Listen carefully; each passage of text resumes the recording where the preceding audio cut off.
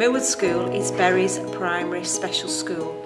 We were very fortunate to be part of building schools for the future and this is the fantastic building that we ended up with. And so when we moved to this new building, we actually uh, designed in rooms that we could put safe spaces in. And at this point now at Millwood School, we have five safe spaces. They're all based in classes where children have autism, but they are used for a wide variety of reasons now.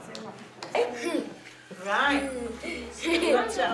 It was purchased to begin with to help with um, behavioural incidences so we could keep children safe. Uh, you know, and that is still a part of, of um, why we have safe spaces. But you, you may see sensory stories going on in the safe space. You may see a child uh, being rolled across a gym ball to try and regulate his sensory needs. You may find a child having a hand massage in there to just to try and, uh, and keep them calm and keep them focused. You may find one lying down and just watching um, some lights that, that we've put in there. So there, there will be a huge amount of activity going on in, in the safe space. They're all very different, all for very different reasons, uh, but all really helping the children be ready to learn.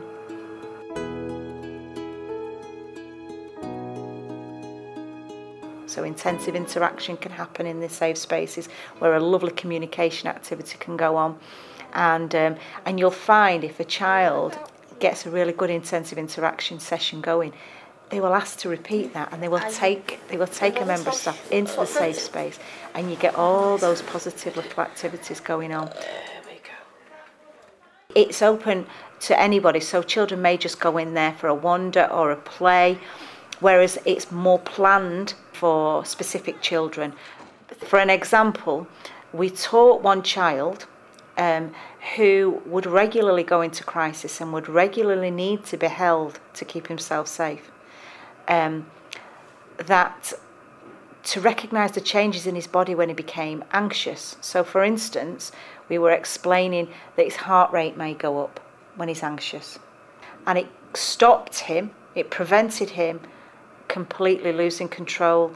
And he would, he would shout and he would say, I'm going in the safe space, and he would take himself off. He would usually ask for someone to go with him, which was absolutely fine because at that point he could that he was then calm enough and confident enough to be able to say what the matter was. So it was massive, really, and, and um, we went from when when he first came to us at Millwood. We, you know, he was being held once, twice, three times a day just to keep himself safe, to never. At Millwood, seclusion is very rare. Um, and it's something that we uh, would only only ever use as an absolute last resort if uh, if all else has failed. What we want to do is for is to teach children that they don't need to get to that point. They can request other things. They can use a safe space without having to be put in there. And try and teach them other options by understanding why their behaviour um, escalated um, to that point.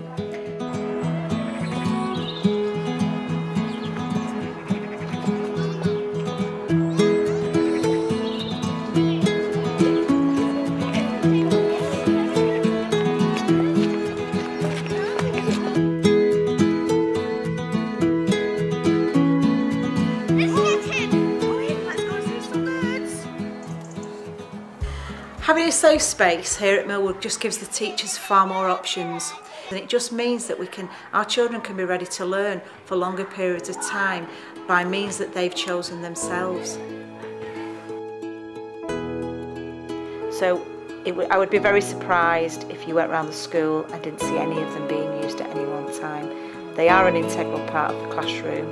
They've, they've been a fantastic resource for our children.